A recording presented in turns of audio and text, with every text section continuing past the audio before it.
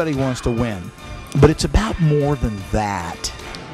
D- do you agree or disagree? And it's it's up to you. But I always thought it was more about. I never paid attention. You know, the wins and losses; those things will take care of themselves.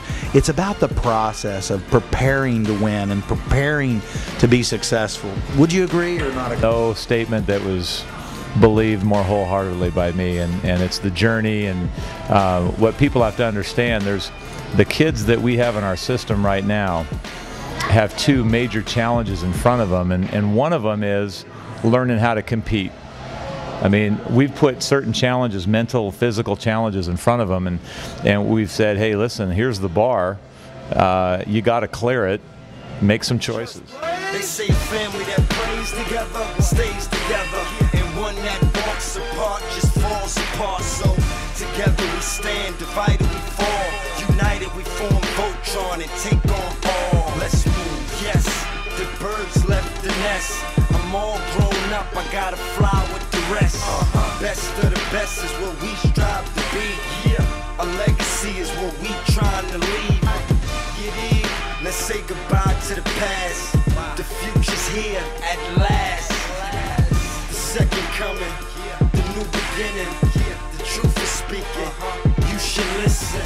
So glorious, victorious. We take what we want.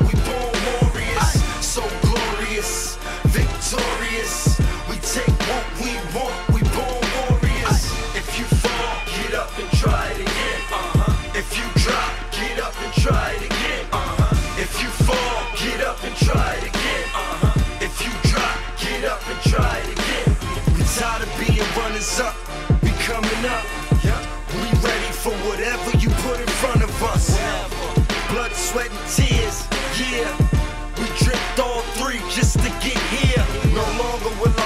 I and my dreams just vanish. It's staring right at me. I must take advantage. Hard work pays off. You get what you put in. So why stop now? Gotta keep pushing, pushing. We in a fight to the finish. So why not fight till you finish? Dig it? I'm my own author. Here's my story. My life's been full of pain. Now where's my glory? I'm so glorious, victorious. We take what we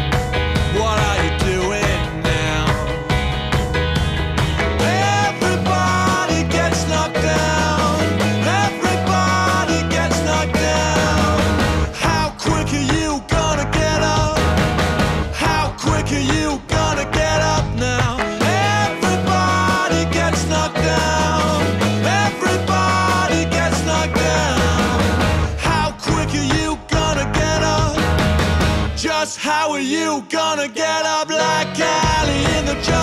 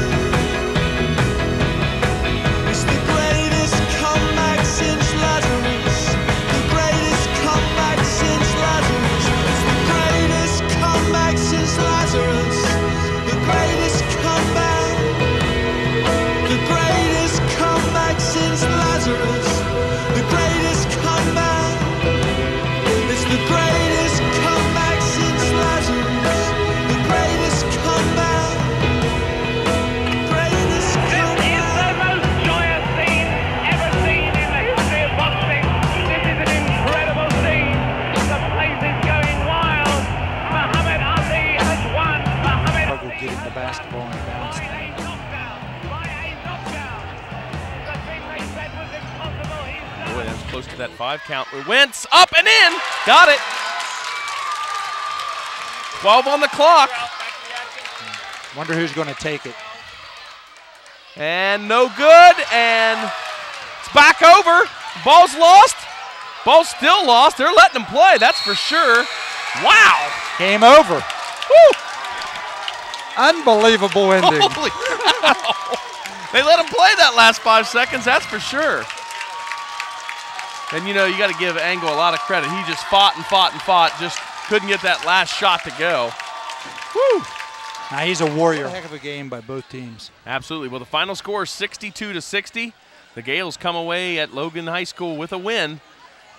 We'll be back, I'm sure, with more basketball uh, throughout the year. But boy, what a great game this was tonight, right, Coach? Absolutely. Um, just back and forth, like you said. Anytime you go double overtime, you- know somebody's going to be pretty frustrated because they got beat. And you know, for the Gales, hey, you know they needed to pick me up. They they- they're trying to make progress. Uh, they got young players. Uh, they really were on board tonight. You could tell they're trying to do the right things, and you know, just learning how to be successful in some of those tight situations. Uh, you know, to, to experience it and then have it positive. I, you know, I'm, I'm happy for them, and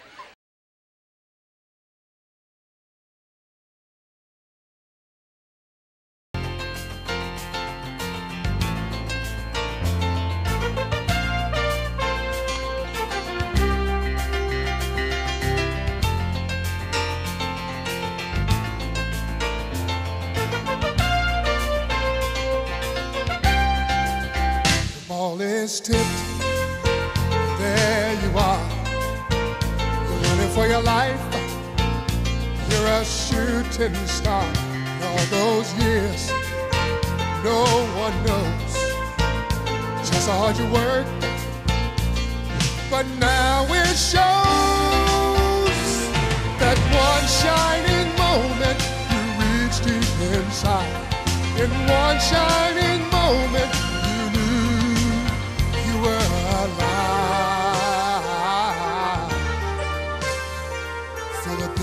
of your heart, feel the wind in your face. It's more than a contest, it's more than a race.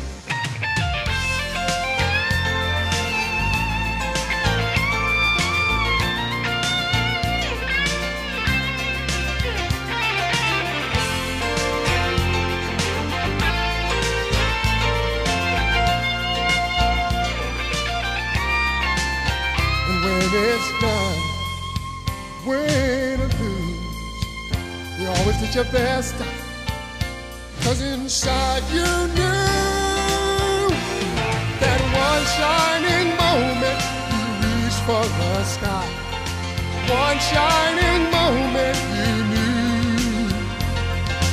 One shining moment you willing to try.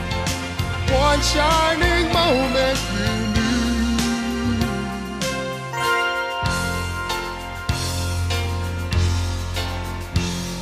One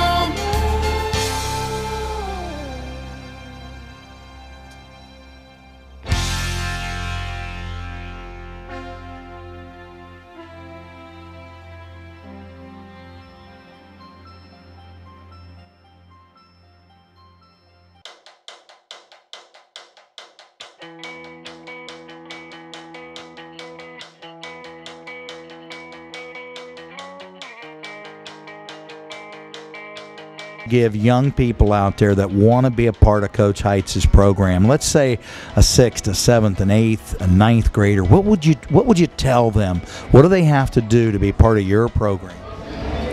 You know, the, the traditional things about winning uh, is standard to pretty much all programs. The work ethic, the the find a passion in your life, and uh, it, you know, we run our programs, our youth developmental programs. The probably the key that goes through all of our programs is find a passion, and then approach that passion like you do love it. Don't say you love it and then not put in the time and the effort. But most importantly, again, life's too short. Basketball is a vehicle that we use to do other things. So if you if God-given ability says you have the ability to play basketball, don't just limit it to just the field of basketball or the court of basketball. Do good things for other people. Represent your school well. Help the kid out that, that needs the door open for them. Say please and thank you. Use those skills that you have and, you know, honor them. Not everybody has that ability. And you don't have to look very far to find people that uh, have taken things for granted. And life skills, yeah, you'll get inundated with them. I call them our little sermons, but um, hey, that's the way it is because basketball's bigger than just the game.